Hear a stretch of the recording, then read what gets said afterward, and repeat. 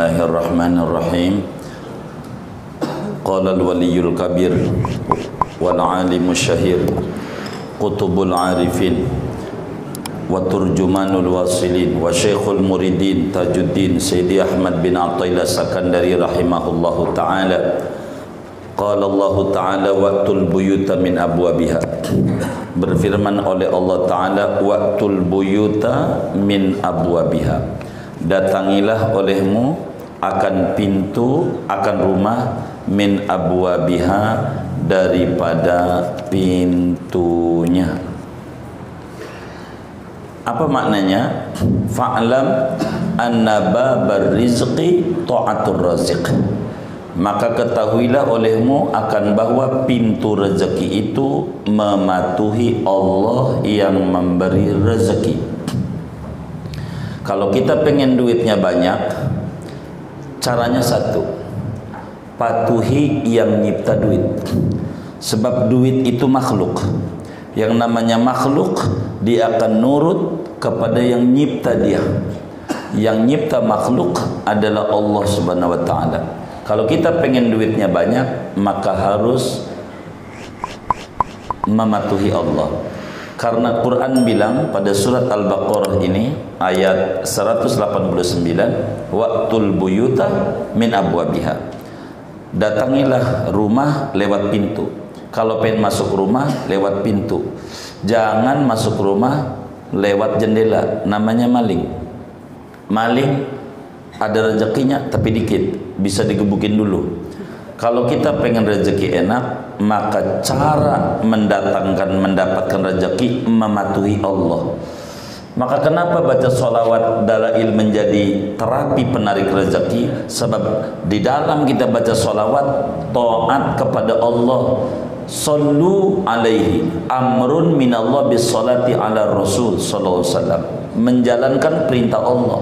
Maka di sana kita bakal mendapatkan rezeki banyak fakaifa yutlabu minhu bimaksiyatihi maka bagaimana mungkin dituntut rezeki dari Allah dengan cara mendurhakai Allah? Am kaifa yustamtaru fadduhu bi mukhalafatihi? Ataukah bagaimana mungkin dimintai hujan oleh limpahan anugerah Allah dengan cara membangkang kepada Allah? Beda. Baik sebentar. Am kaifa yastamiru? Oh kurang to berarti kitabnya. Kurang itu. Misalnya to yustamtoru. Kurang to kalau yastamiru kurang to itu udah pasti salah. Nah, itu salah tuh naskahnya.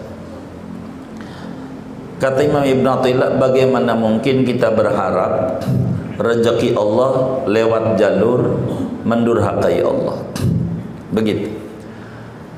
Begini saudara. Ada karyawan dalam sebuah perusahaan di otaknya adalah pengennya naik gaji, tapi kerja nggak mau. Tapi pengen gaji itu naik, tapi kerja nggak mau tapi pokoknya bagaimana pengen gajinya terus naik tapi nggak mau untuk menjalankan pekerjaan kalau kita bosnya karyawan model begini kita demen apa kagak hah demen apa kagak kira-kira? Namanya karyawan apa nih? Songong namanya. Songong itu bukan bahasa Betawi bahasa Inggris. Song itu artinya lagu. Kalau orang belagu namanya songong. Songong. Eh betul. Betul. Begitu. Jadi ada namanya hamba songong, mintanya rezekinya doang, ibadahnya enggak. Namanya hamba songong. Yang kayak begini disebutnya. Waqad qala alaihi afdhalus salati wassalam la yunalu ma indallahi bisakhatihi dan sesungguhnya bersabda oleh kanjeng Nabi alaihi salatu wassalam la yunalu ma indallahi bisakhatihi tidak bakal didapat oleh apa-apa yakni rezeki yang ada di sisi Allah bisakhatihi dengan jalan kemurkaan Allah. Ini hadis ada di dalam kitab Al-Musannaf diriwayatkan oleh Imam Ibnu Abi Syaibah Begitu juga Imam Jalaluddin As-Suyuti meriwayatkan ini hadis daripada Abu Umam Al-Bahili, Imam Tabarani meriwayatkan ini hadis di dalam kitab Mu'jam Al-Kabirnya. Bagaimana mungkin kurnia Allah didapat dengan cara murka Allah? Kalau ngomong rezeki saudara, rezeki ini ada empat tingkatan. Ini yang kita harus pahami. Pertama adalah tingkat paling dasar. Apa itu rezeki tingkat paling dasar? Duit, jabatan, kekuasaan. Ini rezeki paling rendahnya rezeki. Yang kedua, rezeki itu adalah afiat, kesejahteraan. Itu juga rezeki. Sebab orang punya duit belum tentu dia sejahtera. Pusing ya. Yang ketiga, rezeki itu adalah zuriatan taibah, anak keturunan yang soleh. Itu rezeki yang paling berharga. Yang keempat adalah ridho Allah dan surganya. Itu adalah rezeki. Jadi yang namanya rezeki jangan terpaku pada duit. Rezeki itu luas. Rezeki itu. Kalau minta sama Allah, mohon maaf, di dalam adab sufi jangan minta duit. Sebab orang kafir aja dikasih itu mah. Kalau yang orang kafir dikasih, kita jangan minta itu, berarti kita juga bakal dibagi. Begitu. Mintamu yang orang kafir enggak dikasih. Itu namanya rizqul batin. Nah, itu yang paling bagus yang minta sama Allah itu. Aila yutlabu rizquhu illa biridha yakni tafsir hadisnya tidak diminta oleh rezekinya Allah kecuali dengan jalan keridhaan Allah. Jadi duit itu saudara dilihat Bila kemudian duit itu banyak ama kita makin jauh dengan Allah namanya musibah, bukan rezeki. Duit kita dikit tapi makin dekat dengan Allah itu namanya rezeki. Itu begitu. Jadi enggak asal duit begitu. Dekat dengan Allah atau tidak begitu. Itu kayak begitu. Waqad qala ta'ala mubayyinan lidzalik dan sungguh berfirman Allah taala pada menjelaskan bagi yang demikian itu wa may yattaqillah yaj'al lahu makhraja wa yarzuqhu min haitsu la yahtasib. Siapa orang yang bertakwa kepada Allah imbalannya niscaya menjadikan oleh Allah baginya akan solusi dalam setiap problemnya wa yarzuqu min haitsu la yahtasib dan memberikan rezeki oleh Allah akan dia min haitsu la yahtasib dari sekira-kira yang dia tidak menduga-duga. Jadi yang namanya rezeki itu caranya didapat dengan takwa. Jadi kita harus bisa membedakan antara rezeki dan gaji. Kalau gaji dari bos, kalau rezeki dari big boss dari Allah. Kalau gaji ada selipnya. Kalau rezeki tidak ada selipnya. Kalau gaji ada ukurannya. Kalau rezeki tidak ada ukurannya.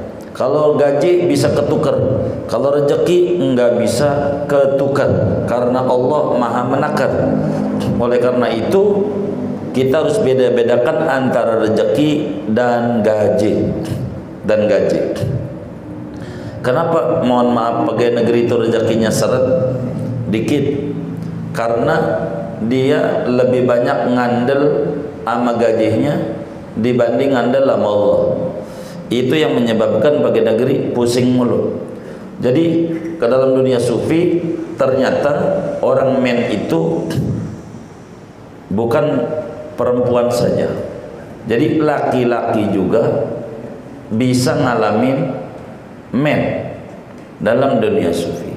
Laki-laki itu bisa saja men. Men itu saudara setiap bulan keluar jadi kalau men itu tiap bulan keluar tiga hari bersih, itu namanya men. Jadi bila keluar tiga hari bersih, itu namanya men. Ada orang sebulan sekali dapat gaji tiga hari udah bersih, itu namanya namanya men namanya, men namanya. Itu perempuan juga ya, perempuan men. Jadi sebulan sekali dapatnya. Itu orang men tuh sebulan sekali dapat. Tapi tiga hari bersih. Ini namanya men, laki-laki kayak begini. Maka rezeki itu bisa didapat dengan takwa. Kalau gaji dengan kerja, begitu, dengan kerja. Penyebab kebanyakan dikit rezekinya pegawai negeri itu karena dia banyak menghambur-hamburkan waktu. Kerjaan yang bisa hari ini rapi jangan diewit-ewit sampai ketemu nanti. Itu begitu. Itu tuh yang bikin rezeki dia seret. Ngambul-ngambulin waktu itu kayak begitu. Maka kalau kita jadi pegawai negeri kudu punya usaha sampingan yang kita harus jalanin. Apa kayak usaha sampingannya itu. Supaya kita nggak ngandelin itu. Begitu. Ngandelin itu. Kalau ngandelin itu kita udah kebaca dah eson sekian gaji sekian ini. Udah udah kebaca. Sebelum kita masuk juga udah ada catatan itu. Begitu jadi kalau pengen rezeki caranya dengan takwa. Dengan takwa. Itu rezeki banyak. Sering tak terduga didapatnya itu rezeki maka pintu rezeki itu mematuhi Allah. Itu pintu rezeki wis kita patuh aja sama Allah. Patuh aja begitu jadi kalau orang bukan bagi negeri kayak pengusaha segala macam kenapa duitnya banyak? Itu karena dia ngandalnya Allah. Kita enggak ngandalnya sama gajian dia sama Allah aja. Jadi sehingga Allah kasih banyak kan? Karena kita tawakalnya rendah jadi dikasihnya segitu takarannya. Begitu. Repot kita. Jadi kita harus ngandalnya sama Allah subhanahu wa ta'ala. Ngandalnya. Biar kita jangan ngalamin pusing begitu. Hidup kita. Walihadal makna dan bagi makna ini qala Syekh Abdul Abbas Al-Mursi radhiyallahu ta'ala anhu fi hizbihi. Berkata oleh Syekh Abdul Abbas Al-Mursi radhiyallahu anhu di dalam kitab hizib beliau lama qala ketika berkata oleh beliau wa a'tina kada wa kada. Berikan olehmu akan daku akan anu dan anu qala beliau berkata wa rizqul haniyu adapun rezeki yang enak alladzi la hijaba bihi fid dunya yang tidak ada hijab pada rezeki di dunia wala hisab dan tidak dihisab wala suala dan tidak ditanya-tanyai Allah di akhirat wala itaba dan tidak dicerca atasnya fil akhirat di akhirat. Itu namanya rizqul hani maka kita minta tuh sama Allah ar-rizqul al-hani. Rezeki yang tidak bakal kena hisab oleh Allah Subhanahu wa taala. Itu yang paling enak. Begitu. Kalau kita keyakinannya mantap pada rezeki, maka Allah bakal beri kita banyak. Banyak-banyak. Kucing aja saudara, kucing. Ijazah nggak punya, kantor nggak punya, kontrakan nggak punya, kantor nggak punya, kucing makanannya ikan. Ikan itu adanya di air.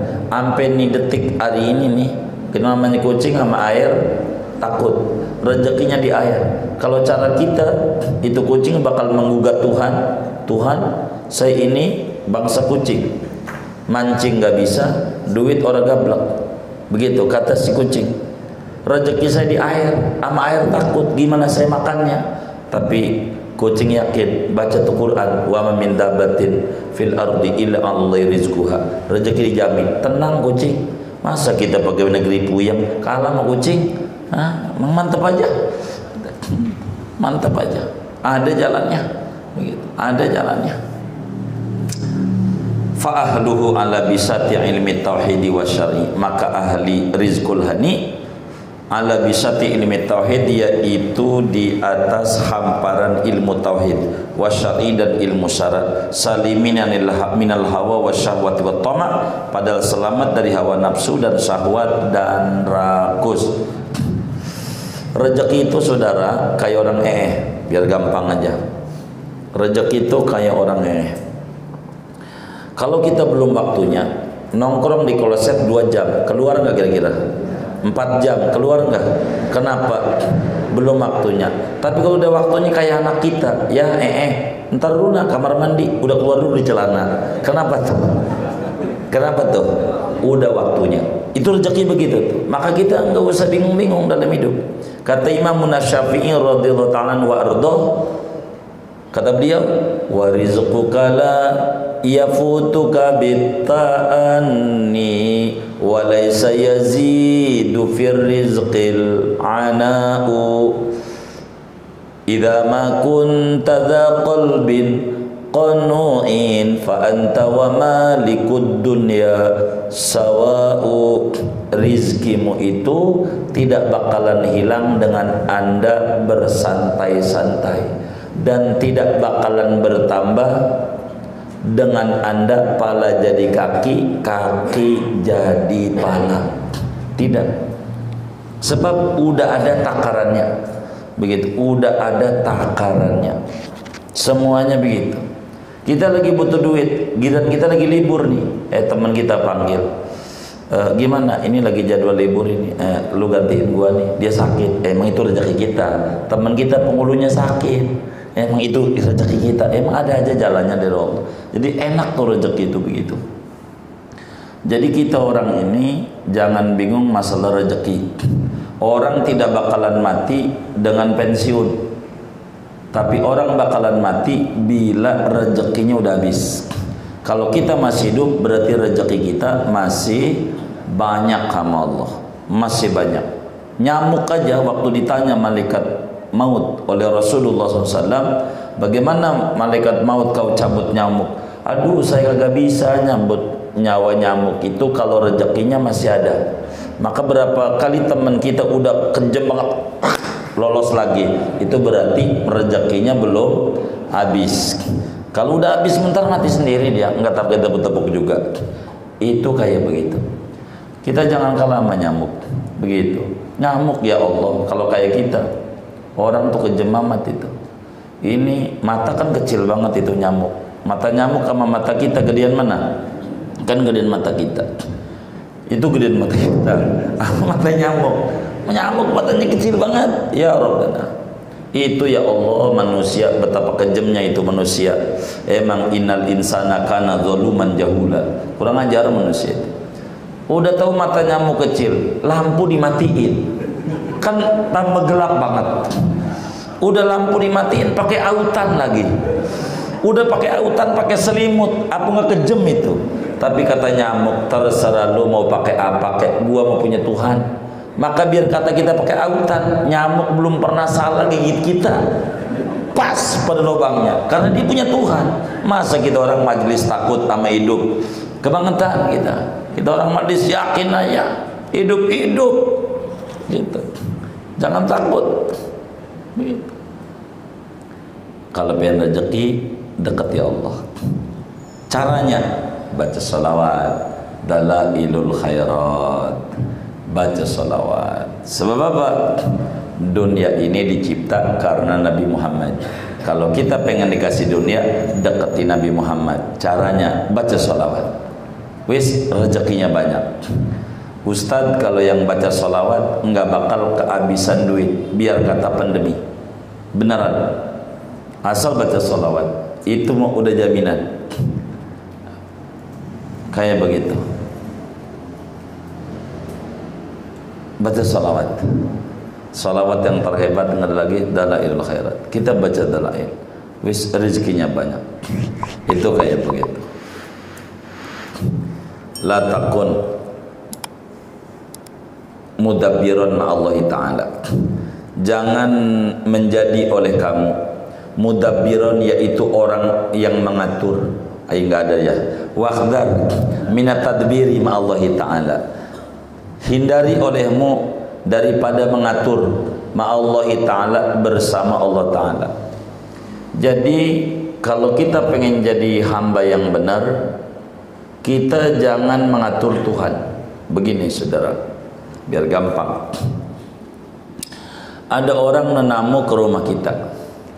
Nenamu ke rumah kita Waktu dia datang ke rumah kita, dia langsung bilang begini, ini Pak salah meja makan ini bukan di ruangan sini, kudunya ruangan sono. Ini ruang tamu ini bukan di sini. Ini peng nggak masuk ini, kudunya di sono. Ini kamar bukan di sini, kudunya di sini. Ini sofa bukan di sini, kudunya di sini. Nih kalau kita tuan rumahnya tamu model begini namanya tamu apa ini? Tamu apa? Songong. Kenapa songong? Ngatur. Yang namanya tamu diatur. Yang namanya tuan rumah mengatur. Kita ini nenamu di desanya Allah. Dunia ini namanya adalah desanya Allah. Kita ada di desanya Allah. Itu jangan ngatur-ngatur Allah, jangan. Jangan. Kita kudu nurut aja. Itu mengakunya hamba Allah. Hamba tuh ngatur apa diatur? Kalau Tuhan ngatur. Ada orang ngaku hamba Allah pagi-pagi tengah tujuh kalau rezeki saya di langit turunin, kalau di bumi eh, keluarin, kalau jauh deketin, kalau seret lancarin, kalau dikit banyak. Nih ngatur apa diatur? Songong nih, songong, songong. Maka kata Imam Ibn Atta'illah dalam hikamnya masya'nu wujudat talab wa inna masya'nu anturzaqa husnal adab Bukan akhlak yang baik ngatur-ngatur Tuhan. Akhlak yang baik itu adalah bila kita memiliki husnul adab dengan Allah Subhanahu wa taala. Udah kita ngerjain salat duha aja cuman karena kita ini awam enggak kedengeran bahasa malaikat. Itu kalau orang udah sholat duha, ini malaikat raqibatin ngajuin proposal nih ya. Itu kalau udah sholat duha. Gitu, udah paham. Jadi enggak usah pakai diomongin, sholat duha aja yang banyak. Begitu, udah udah paham. Ini minta rezeki ini udah paham itu. Gitu. Udah nggak bisa jadi begitulah kita ada bersama Allah Subhanahu wa taala. Jangan ngatur. Enggak ngatur. Ngatur itu kurang bagus kita ini tamu di dunia ini saudara tamu tamu itu jangan ngatur lihat tuh orang pengantenan fokus aja kita sama pengantennya Udah makanan udah disiapin sama Saibul Hajat. Pokoknya pikiran kita lihat pengantin. Jangan kita menjauhi mata dengan pengantin, jangan. Pokoknya pengantin aja. Menu semuanya udah disediain. Siapa pengantinnya? Nabi Yuna Muhammad sallallahu alaihi wasallam. Begitu. Itu pengantinnya. Kita fokus sama Nabi aja. Itu Saibul Hajat Allah udah nyiapin segalanya kita tamu udah tenang aja kata Nabi ad-diyafatu salah satu ayam hak tamu itu tiga hari kalau ada orang nenamu ke rumah kita tiga hari kita kulayanin hari ini makan besok kita kasih makan besok kita kasih makan itu hak tamu tiga hari. Kalau lewat dari tiga hari udah seminggu kita boleh tanya tuh tamu ente mau ngontrak? Mau apa? Kalau lewat dari tiga hari. Hak tamu cuma tiga hari.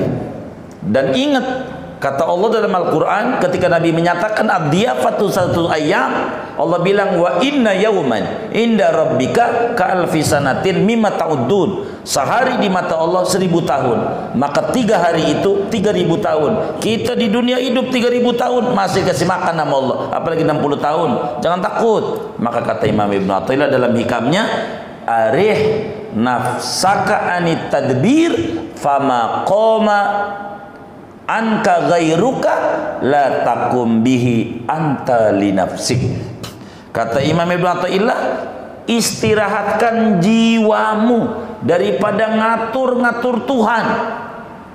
Sebab apa yang sudah diurus oleh Tuhan tak perlu kau ikut campur mengurusnya. Rezeki itu bagian Tuhan.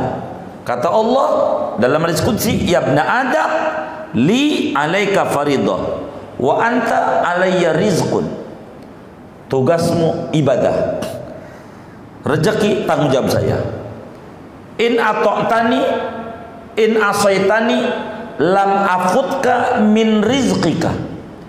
Andai kau mendurhakai saya enggak nurut, rezeki tetap saya kasih. Walakin anta madmum, tapi Anda hina di mataku begitu tapi kalau kita nurut enak jadi kita jangan terlalu banyak pusing.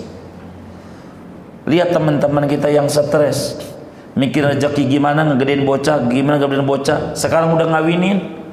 Begitu. Itu yang bingung. Masih diopelin sama Allah. Masa kita yakin enggak yakin mantap sama Allah. Jangan takut. Jangan takut. Saya itu banyak memotivasi teman-teman majlis itu. Baca ratib, hadan. Malim Safi Adami itu begitu. Waktu saya punya paman Kiai Jurjani, tadi Pak Edi itu bilang, Syabudin bilang sama Malim, Malim doain ini ponaan saya ini Fahru. Biar ada rezekinya. Enggak perlu saya doain uh, Ustaz kata Malim ntar rezekinya banyak nih si Fahru banyak gitu. Begitu. Itu ditanya mama emang apa? Saya dikasih ratib suruh diamalin asal lu amalin ente amalin ini rezekinya banyak. Baca ratib badat nih. Dikasih. Baca ratib berarti baca apa sih ratiban itu? Ngajuin proposal sama Allah. Kalau main lotre 36 kotak diisi masa kagak nembus ya kan? Begitu. Baca ya. Begitu. Ada rezekinya. Bener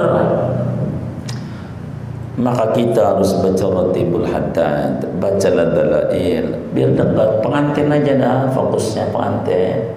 Nanti diopeni nama tuan rumah. Kalau kita nyolok-nyolok sama pengantin kurang ajar ya mana sama tuan rumah diusir bisa.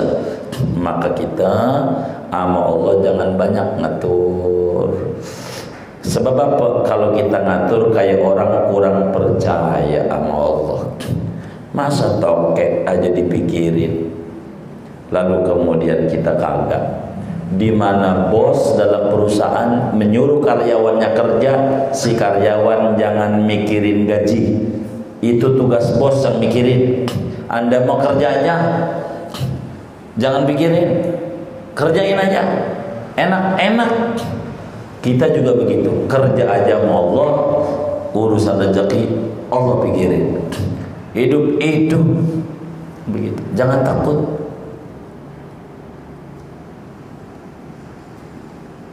Sehingga wahdar minat tadbiri Allah Hindari olehmu daripada mengatur-ngatur Tuhan. Jangan. Jangan ngatur Allah.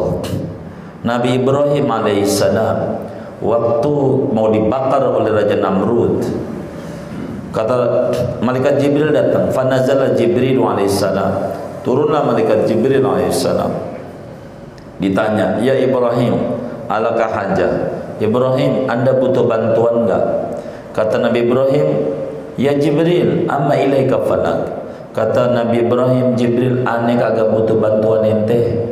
Kata mereka Jibril iya mana? Apa Allah? Ente mau dibakar? Ente enggak mau ngajuin proposal biar selamat? Enggak. Emang apa? Ente kan mau dibakar? Begini Kata Nabi Ibrahim, Allah tahu nggak kalau saya ini mau dibakar? Ya tahu. Allah tahu nggak kalau saya ini benar? Tahu. Kalau ngatur orang yang udah tahu kita atur atur, namanya kita songong. Hasbunallah wa ni'mal wakil. Selamat. Gara-gara hasbunallah wa ni'mal wakil, hasbunallah wa ni'mal wakil, hasbunallah wa ni'mal wakil, Ya narukuni bardan wa salaman ala Ibrahim. Enggak minta, dikasih. Gitu. Kenapa? Karena jiwanya diistirahatkan daripada ngatur-ngatur Allah. Jangan begitu. Kita banyakkan memuji aja.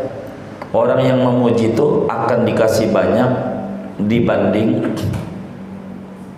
yang minta-minta. Ada dua teman kita yang satu minta mulu sama kita. Yang satu muji wah bang mau bagus orang lain aja dibantu apalagi temen. Ini yang paling nyes di hati kita yang minta apa yang muji. Allah begitu. Man syaghalahu dzikri an mas'alati a'taitu afdhala ma'uti sailin siapa sibuk memuji kagak keburu minta saya beri lebih banyak dari yang minta. Begitu kata Allah. Muji aja. Muji Allah aja gitu. Makanya kita didik tuh santri-santri gosolibat a'dadtu likulli dzikin hasbi Allah. Likulli dzikin hasbi Allah. Kalau sempit hasbunallah. Hasbun muji Allah. Wis banyak gitu ada aja jangan ada jangan rezeki ada aja Famisalul mudabbir ma'allah ka'abdin arsalahu sayyidu ila baladin liyasna'alahu siyaban. Maka adapun perumpamaan orang yang ngatur-ngatur bersama Allah yaitu seperti seorang budak arsalahu sayyidu yang mengirim akan budak oleh tuan ila baladin kepada satu daerah liyasna'alahu siaban agar membuat oleh si budak untuk tuan siaban akan pakaian Fadakhalal abdu tilkal baladat. Maka masuk oleh si budak akan itu daerah. Faqala lalu berkata oleh budak, "Aina askunu?" Di mana saya harus tinggal? Waman atazawaju? Siapa perempuan yang aku kawini? Jadi ada seorang budak diutus oleh seorang tuan biar gampang budak seorang pegawai dikirim oleh pimpinan perusahaan ke satu daerah. Disuruh ngerjain tugas. Kali ini yang paling gampang nih kita contoh dulu yang Ibnu Athilah angkat ada seorang budak disuruh oleh majikan ente pergi ke kampung sebelah. Ente buat baju buat saya. Maka si budak itu pergilah ke kampung sebelah itu Lalu udah di kampung dia bilang, mana gaji saya? Saya bakal tinggal di mana? Saya makan bagaimana? Saya minum bagaimana? Saya kawin bagaimana? Ini namanya budak songong. Mikirin kawin, mikirin gaji, mikirin makan, mikirin minum, kerjaan dia jahit baju kagak dikerjain. Itu namanya budak kagak benar. Begitu Allah, Allah kirim kita ke dunia, namanya negeri sebelah. Kirim ke dunia untuk apa? Untuk ibadah sama Allah. Lalu otak kita duit mulu, duit mulu. Ini namanya ngatur Allah. Udah anda mau kerjain tugas anda sebagai khalifatullah fil ardi. Tugas anda jalanin. Jalanin. Jadi rezeki itu banyak-banyak. Di toren ini baru. Airnya kita intip banyak. Keran baru dari Singkoh. Tapi ngapa jalannya air ceret ceret ceret periksa pipanya. Jangan-jangan di saluran air ini banyak pasir yang nyumbat. Biar kata keran baru, toren banyak air, tetap air jalannya seret gara-gara ada penyumbatan pada saluran air. Rezeki saudara. Kita nggak usah ngomong Allah ketinggian. Malaikat Mikail itu namanya Menteri Keuangan dan Sosial. Biar kita paham. Itu Menteri Keuangan dan Sosial itu Mikail. Itu Sri Mulyani itu. Sri Mulyani. Itu rezeki kita di dia masih banyak. Di Mikail. Jangan di Allah, di dia aja masih banyak. Begitu di dia aja. Masih banyak tuh di Mikailnya tuh rezeki kita. Tandanya kita masih hidup. Maka kita orang ini tugasnya kerja aja. Gaji udah dipikirin. Udah kerja aja tugasnya. Kita orang ini tugasnya ibadah. Jangan otaknya mikirin duit, tugas kita aja. Kalau rezeki kita seret, kata Nabi, "Innal abda la yuhramu minar rizki bidzambilladzi yusibu sesungguhnya hamba diseretkan rezekinya karena ada pasir yang nyumbat dia. Ada dosa yang dia kerjakan. Penyebab rezeki kita seret ada kesalahan pada kita. Maka kesalahan itu tuh yang harus dibongkar. Pasirnya dibuang. Ntar juga ngocor lagi maka kata Al-Qur'an istaghfiru rabbakum innahu kana ghafara yum uh, yumdidkum bi amwalin yumdidkum bi amwal yumdidkum bi amwal kalau udah salurannya dirapihin ngocor lagi. Maka ada rezeki kita seret ada kesalahan kita.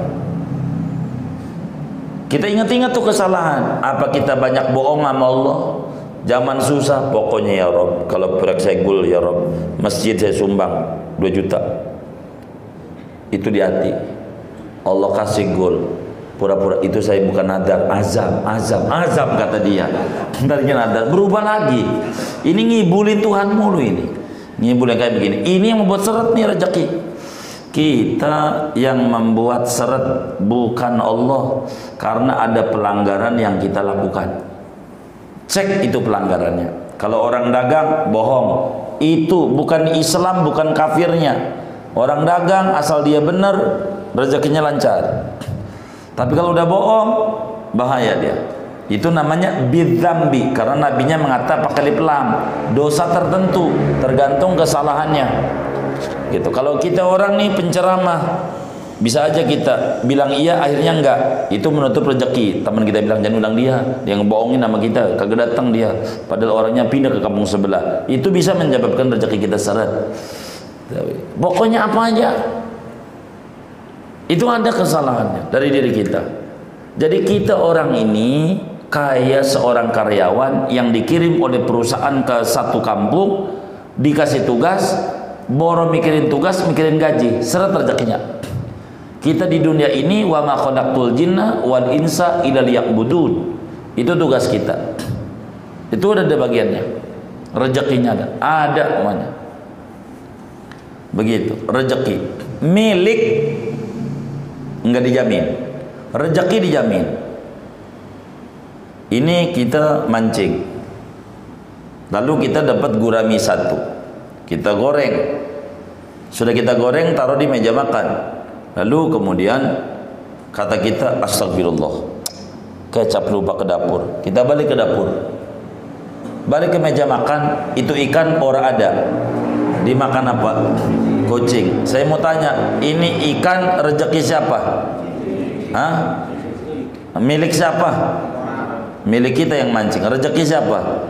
Milik nggak dijamin. Rezeki dijamin. Itu rezeki. Maka enggak ada dalam Al-Qur'an wa min dabbatin fil ardi illa anallahi milkuha, enggak ada. Illa anallahi rizquha. Milik enggak dijamin. Milik kita bisa aja rezeki orang, bisa aja rezeki anak, rezeki bini, miliknya milik kita. Milik enggak dijamin. Yang dijamin oleh Allah rezeki. Karena itu fastagil bidalik, ay fastagola bidalika. Maka sibuk oleh si budak dengan yang demikian itu ngomongin makan, nikah, tidur, minum, wasorofahi matahu lima hunalika. Dan memalingkan oleh si budak akan cita-citanya budak bagi apa yang demikian itu. Wa dan menyia-nyiakan oleh budak ma'amarahu sayyid akan apa yang diperintahkan oleh majikan kepadanya. Hatta da'ahu ilaih sehingga memanggil oleh majikan akan budak kepadanya Bagaimana kira-kira fajazauhu minas sayyidi in jazahu al-qati'atu wa wujudul uh, hujubati. Maka adapun balasannya, gajiannya, uh, balisannya si budak dari majikan kalau membalas oleh si majikan akan budak yaitu memutuskan rezekinya dan adanya hijab. Listighalihi bi amri nafsihi karena sibuknya budak dengan urusan dirinya an haqi sayyidihi dari hak atau tugas tuannya. Orang yang kemudian kita pala jadi kaki, kaki jadi pala, sampai sholat nggak keburu, apa nggak keburu, rezekinya seret, seret rezekinya, seret, seret rezekinya maka kita orang kalau pengen rezekinya banyak jangan banyak ngatur-ngatur Allah. Tugas kita aja. Untuk apa Tuhan hadirkan kita di jagat raya? Pikirin ini. Itu aja yang harus dipikirin oleh kita. Jangan banyak ngatur-ngatur Allah. Kalau kita ngatur-ngatur Allah bahaya. Kadzalika anta ayyuhal mu'min. Seperti demikian itulah keadaannya. Adapun engkau wahai orang mukmin akhrajahal haqqu ila hadidar mengeluarkan akan engkau oleh Allah mengirim akan kau oleh Allah ila hadidar ke ini negeri. Wa amaraka fiha bi khidmati. Dan memerintah oleh Allah al-haq akan kau di ini negeri untuk berkhidmat kepada Allah. Wa qama laka bi wujubi tadbir minatan min hulak. Dan menjalankan Allah bagimu dengan adanya pengaturan Allah sebagai anugerah dari Allah bagimu. Udah rezeki Allah yang atur fa in istaghalta bi tadbiri nafsika an haqqi sayyidik maka jikalau sibuk oleh engkau dengan mengatur dirimu meninggalkan tugas tuanmu faqad adalta an sabilil huda maka sungguh kau menyimpang dari jalan hidayah wasalakta masalakar roda dan kau menempuh akan jalan kehinaan kerendahan. Rezeki kita sangat patuh aja kita sama Allah. Jangan takut. Begitu. Jangan takut. Kita fokus saja. Fokus. Insyaallah rezeki kita banyak-banyak. Orang kalau masih hidup masih ada rezekinya. Begitu masih ada. Ini kayak corona nih. Kalau saudara pengennya udah apa terusan? Hah? Corona ini pengen udah apa terus? Udah. Nah teman saya yang dagang masker itu pengennya terus. Pengennya. Jadi masing-masing ada rezekinya. Biarin aja. Begitu. Ada jalan rezekinya ada. Ya kalau mereka aja yang dagang masker yang pengen terus ini sholat duha sampai 12 rakaat. Saya pengen corona terus. Masa kita yang pengen corona udah sholat duha juga kagak? Ini namanya salah kita. Salah. Kita juga kudu ngerjain juga. Wa misalul mudabbir ma Allah walladzi la yudabbir adapun perumpamaan orang yang mengatur bersama Allah dan orang yang tidak mengatur ka'abdaini lil malik seperti dua budak bagi raja. Amma ahaduhuma adapun salah satunya famustagilun bi awamiri sayyidihi maka yaitu sibuk dengan perintah tuannya la yaltafitu tidak menoleh tidak menoleh itu tidak banyak mikirin ila malbasin kepada pakaian wala makalin dan tidak makanan. Bal inna mahimatu khidmatu sayyid bahkan hanya saja adapun cita-cita dia yaitu berkhidmat kepada majikan. Fa asghalahu dzalika ni ta'arudi li khududi nafsihi maka menyibukkan akan budak oleh yang demikian itu himmah daripada merencanakan bagi bagian-bagian dirinya maka seorang budak yang sibuk dengan tugas apa yang diatur nggak pernah mikirin gaji saya makan saya udah ada bagiannya. Ini yang kayak begini nih nggak banyak mengatur untuk dirinya. Itu namanya layudabir. Wa amal abdul akhir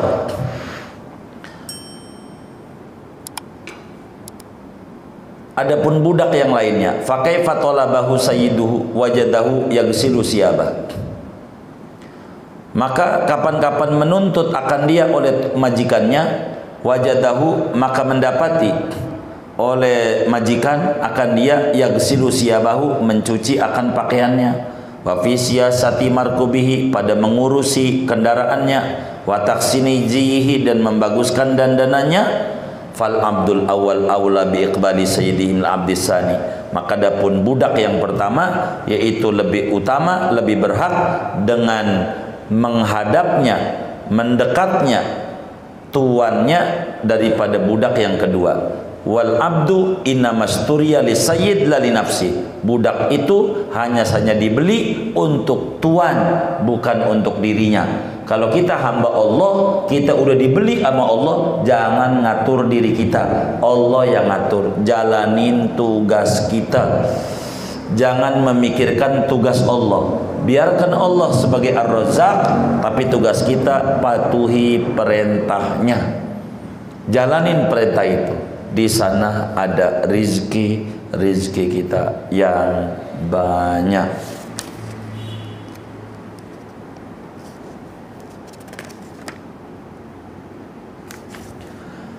Kadzalikal Abdul Basirul Muwaffaq seperti demikian itulah seorang hamba yang memiliki mata hati al muwafaq yang diberikan taufik. La tarahu ila masghulan bi tidak melihat oleh kamu akan si Abdul Basir kecuali sibuk dengan hak-hak Allah. Wa amtisali awamirihi dan menjunjung tinggi perintahnya an mahabbi nafsi daripada kecintaan dirinya wa muhimmatihi dan kepentingan-kepentingan dirinya.